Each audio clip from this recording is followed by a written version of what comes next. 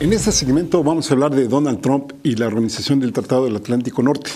Donald Trump acaba de visitar Europa, estuvo allá en, la cumbre del Pacto del Atlántico, visitó otros países, por ejemplo Inglaterra, donde pues parece que se comportó no como un jefe de Estado, sino pues como un patán que parece que le rompió todos los protocolos, por ejemplo el caso de la, de la reina de Inglaterra, quien le dejó esperando 10 minutos, no se le cuadró, digamos, no hizo la genuflexión como supuestamente tendría que haberlo hecho. Luego cuando pasaron la, guardia, los, ahora sí que la reina y Donald Trump, se supone que la reina tendría que ir adelante y Donald Trump se fue adelante de ella. En fin, bueno, pues dio, dio la nota nuevo, nuevamente Trump en sus visitas. Ya sabemos lo que le dijo a la canciller alemana. Bueno, pues ahí está, ¿no? Sigue, sigue encendiendo focos rojos de conflicto con varios de, sus aliados. Días antes también había anunciado la escalada de la, de la guerra comercial con, con China, ¿no? Ahí pues obviamente la, la puesta de aranceles entre uno y otro lado pues va, va escalando a ver hasta dónde llega. Y a sus aliados ahí de la, de la OTAN pues le está reclamando de que no han cumplido con aumentarse el presupuesto militar y les pide que desde ya pues ejerzan al menos el 2% digamos de lo que tiene que ver con el presupuesto que ellos tienen. ¿no? Este, este compromiso se había tenido desde el año 2006 y por ejemplo los países de la OTAN pues están pidiendo que esto sea pero hasta el año 2024 y Donald Trump dice no, esto es ya, ¿no? Y aquí pues Donald Trump para él es un súper indicador esto de que le destinen el 2% del PIB en seguridad, concretamente al gasto militar y los empezó a llamar morosos y también les, le reclamó de paso ya sus, sus superávits que tienen con respecto de Estados Unidos. Es otro indicador que Trump eh, pues utiliza muchísimo, ¿no? De decir, bueno, Trump, eh, perdón, Estados Unidos recibe tanto de este países, de este país y, y los otros tanto de Estados Unidos y en la mayoría de ellos, pues Estados Unidos no sale muy bien librado, que digamos, no como gobierno, pero sí algunas empresas transnacionales que andan por ahí y que eso pues lo niega de una u otra forma Donald Trump. Esa reunión de la OTAN no fue nada tersa, incluso hubo rumores de que el presidente estadounidense amenazó con salirse de la OTAN, eh, que a lo que Donald Trump pues,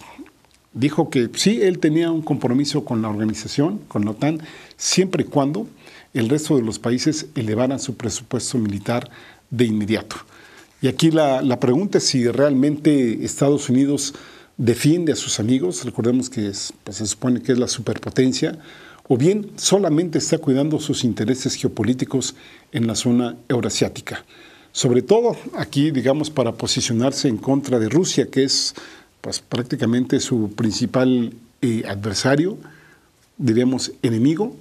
y ello incluye, por ejemplo, ahorita principalmente el gran conflicto que se tiene, vamos a poner cuatro países de un solo jalón, Irán, Israel, Siria y Rusia. Irán porque ya sabemos pues, que está eh, con un gobierno pro-nuclear, que está tratando de armarse nuclearmente para posicionarse en términos, ahora sí que de seguridad, por ejemplo, con algunos de sus enemigos. Ahí está Israel, por ejemplo, y Arabia Saudita. Israel que quiere no solo fortalecer su Estado, digamos, su gobierno como tal, sino pues obviamente expandirse. Habría que recordar cómo tiene, por ejemplo, a los palestinos. Está el caso de Siria, que desde el punto de vista eh, pues, geoestratégico es donde desemboca la ruta de la seda y por ahí pasarían pues muchísimos ductos importantes para abastecer de gas y petróleo a distintos países y es sumamente importante o bien para Rusia allegarse un gobierno afín a él o bien hacia Estados Unidos y sus aliados, por ejemplo Israel, para que pues obviamente no tengan eh, problemas de desabasto de este tipo de energéticos. Y Rusia, pues que ya sabemos que por supuesto entonces apoya al gobierno sirio y que ha sido una contención muy fuerte y que ya sabemos ahí pues cuánto no se ha dicho de que han intervenido elecciones en, pues no pocos, sino en varios países. Y aquí parte muy importante tiene que ver pues las sanciones que, que la OTAN y la Unión Europea en este caso puso a Rusia por la anexión en 2014 de la península de Crimea y por la ciudad de Sebastopol. Aquí estamos hablando de Ucrania. En ese entonces, fíjense, las sanciones que le impusieron a Rusia, que por cierto ahora en el mes de junio las extendieron por un año más, son el veto a las importaciones de productos procedentes de esos lugares, eh, también el bloqueo de toda inversión o compra en dichos territorios, la prohibición de atracar en los puertos para cualquier barco, restricciones a la exportación a Crimea de bienes y tecnologías que tienen que ver con los sectores del, transporte, de telecomunicaciones y, y de energía. Y pues a ver qué salen de todas estas cosas después de la reunión de la OTAN y después hoy precisamente en Helsinki se reunieron Donald Trump y Putin. Ahí pues hay varias cosas que seguramente van a, discutir, ya sabemos que no todo lo vamos a, a conocer, de lo que públicamente van a hablar, pues precisamente a lo mejor es el equilibrio que van a tratar de dar, la división seguramente que van a tratar de darse estos dos, y un poco Donald Trump tratar de apaciguar en el plano interno la, buena o muy buena relación, habrá que ver hasta qué tanto pueda tener él con Putin. Sabemos que en muchas ocasiones se habla de que Putin puso precisamente las condiciones para que Donald Trump llegara precisamente pues, al gobierno estadounidense. Y aquí, por ejemplo, el punto de debate es si con todos estos avances geopolíticos rusos, estamos hablando de Crimea, estamos hablando de Siria principalmente, y las rupturas hasta ahora tenidas entre Estados Unidos, más concretamente entre Donald Trump, porque hasta eso pues Obama llevaba una muy buena relación con la OTAN y justamente con varios de los países que lo integran, ahí está España, por ejemplo, a la que le ha dado pues sus buenos llegues, Alemania ni se diga, Francia, qué decir, después de darse de besos con Macron, etcétera, pues ahora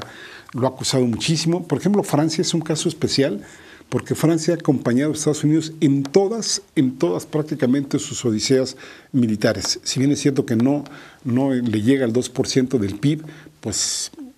yo creo que ha rebasado por mucho al estar ahí acompañando a Donald Trump y a cualquier gobierno estadounidense en campañas militares en Afganistán, en la misma Siria, etcétera, ¿no?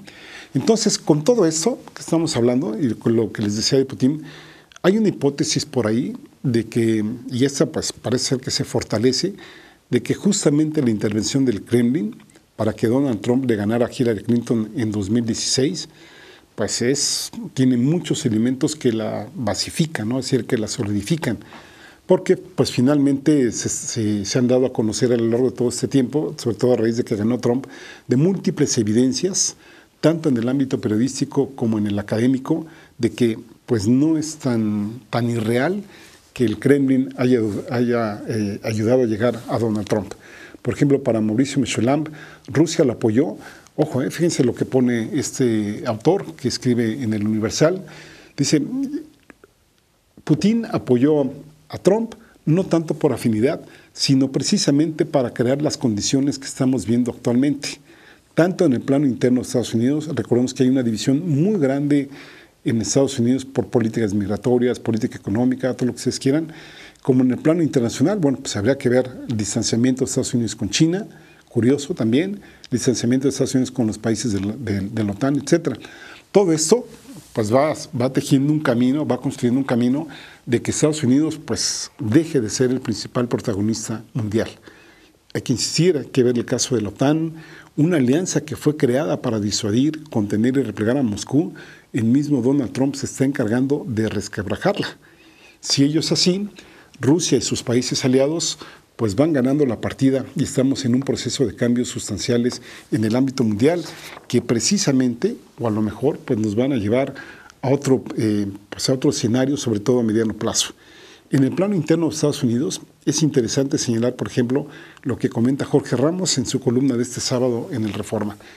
El Congreso en Washington está paralizado. No hay ninguna ley que cuente con el apoyo bipartidista, ¿sí? lo que significa que cualquier cambio se tiene que dar o por la fuerza,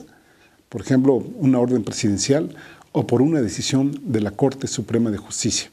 lo cual, la cual inclusive la, la Corte Suprema está más que dividida en su interior.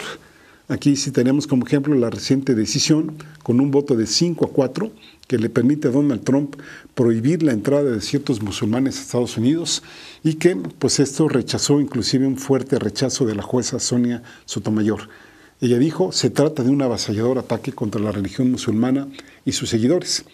Y esta medida pues es ampliamente discriminatoria, aunque se lo justifique con una, con una medida antiterrorista. Así es de que estará Putin,